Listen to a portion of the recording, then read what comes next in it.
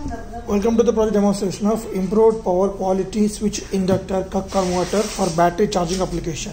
So the main application of this project is uh, we are going to provide the 230 volts AC input and this will be stepped down to the 54 to 58 volts uh, which is sufficient to charge our 48 volts of battery.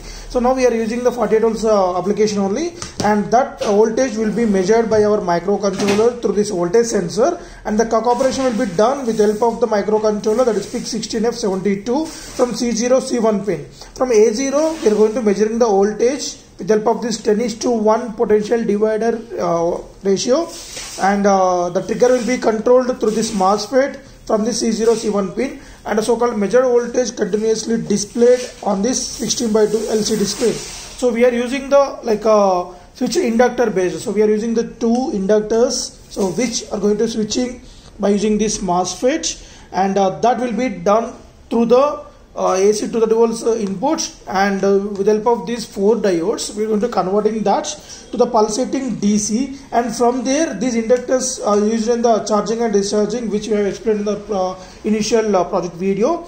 And the switching sequence will be done inductor 1 to inductor 2 and inductor 2 to inductor 1 with the help of this MOSFET. And so that we are going to charge and discharge these capacitors. And output of these total circuits will uh, will be the around 54 to 58 volts based on the trigger pulse from the microcontroller provided. So we are providing 2 volts AC inputs to this converter circuit and uh, to this step down transformer which will take 2 volts AC to 12 volts of AC and that will be converted into 12 volts of DC initially and then after 5 volts of DC with help of this 7805 voltage regulator. So the output is 5 volts uh, that is the main operating voltage of our microcontroller. Once we provide that it start reading input from this signal and if it is less than the uh, like uh, if it is greater than 53 volts because as we are providing 230 volts AC and after that 230 volts DC and uh, that will be uh, regulated till the 53 uh, to around of 58 volts.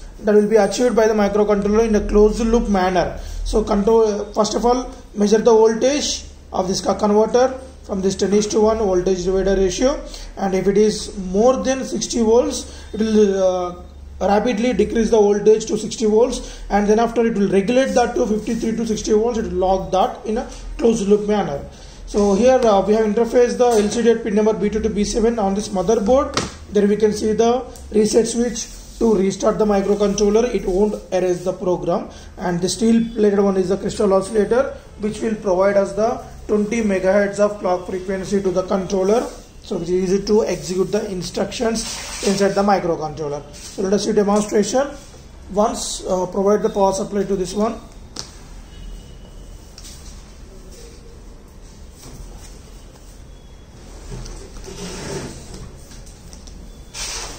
So while execution of this project you are not supposed to touch any uh, like a component on this converter as the totally it will process you the 230 volts of AC and the next we can see the voltage will be gradually uh, regulated.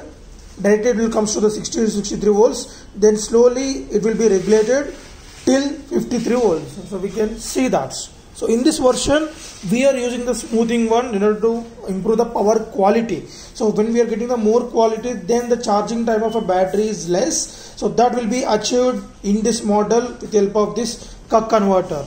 So the main application is to charge a battery with high current so that we can uh, improve the battery life and we can decrease the charging time with the help of this Cuk converter. Bye.